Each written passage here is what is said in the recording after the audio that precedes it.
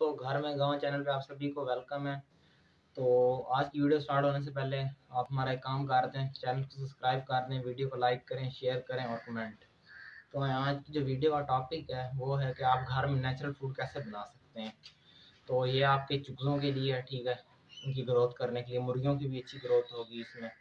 और बटेरों की भी और भी बहुत से परिंदे हैं यहाँ पे, जिनके आप डाल सकते हैं नेचुरल फ़ूड तो ये मेरे पास सबसे पहले जो है ये चोकर है, ठीक है।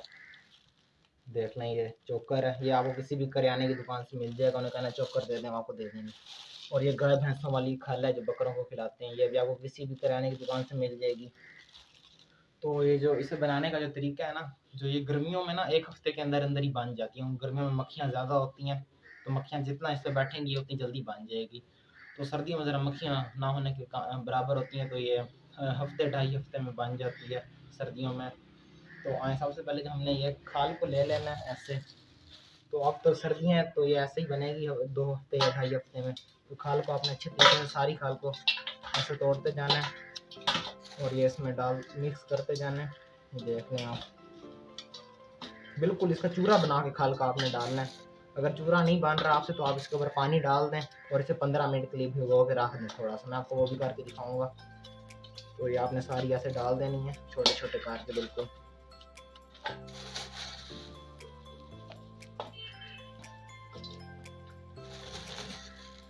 आप डालते जाएँ।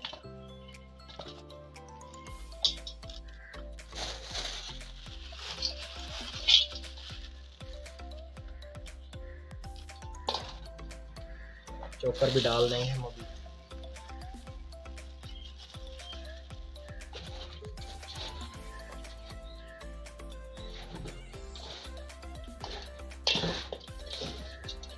तो इसे भिगो देंगे पानी डाल देंगे इसमें।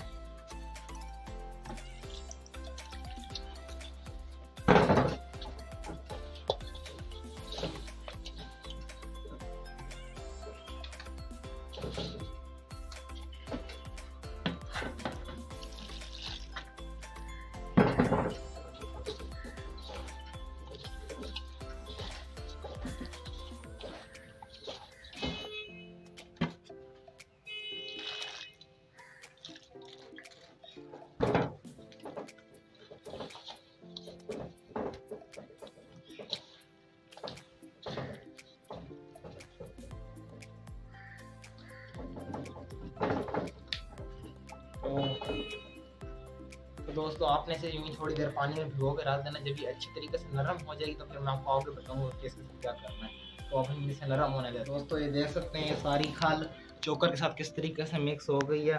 तो जब ये, जब सारी नरम हो जाए तो खाल आपने इसे ऐसे ऐसे मिक्स करते रहना है, अच्छे तरीके से थोड़ी देर। जब आप इसे ऐसे ऐसे सारी खाल को मिक्स कर लेना चोकर के साथ, ठीक है?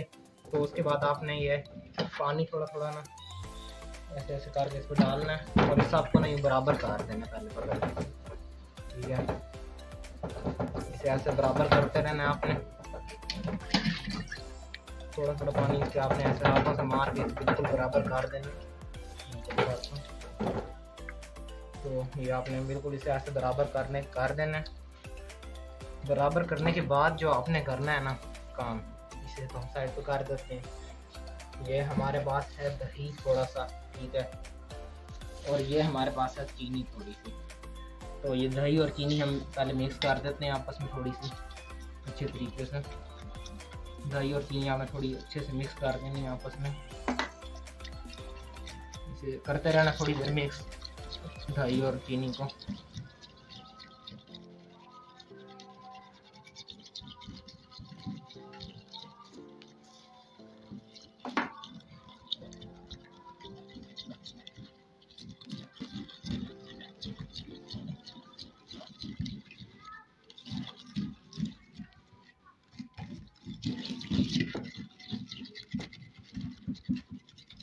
तो ये दही और चीनी मिक्स हो गई है और हम इसे थोड़ा पानी और ऊपर डाल देंगे ताकि ये अच्छी तरीके से बराबर हो जाए।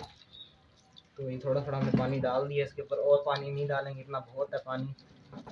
तो ये तकरीबन हमारी सत्तर रुपये में नेचुरल फ़ूड तैयार हो जाएगा, देख सकते हैं। फिर आप सब, आपने इस पूरी को ऐसे बराबर कर देना ठीक है? तो जो ये हम डालते हैं ना तो इस, इसकी वजह से मक्खियाँ जल्दी जल्दी आती हैं। इसकी वजह से। ये आपने ऐसे ऐसे करके ऊपर ही डाल देना है इसकी कोटिंग कर देनी है इसके ऊपर ऐसे ऐसे करके आपने ऊपर ऊपर ही ऐसे कर देना है। इसके पूरा हम डाल देते हैं। और ये आपने पूरा ऐसे, इसके ऊपर ऐसे ऐसे कर देना है।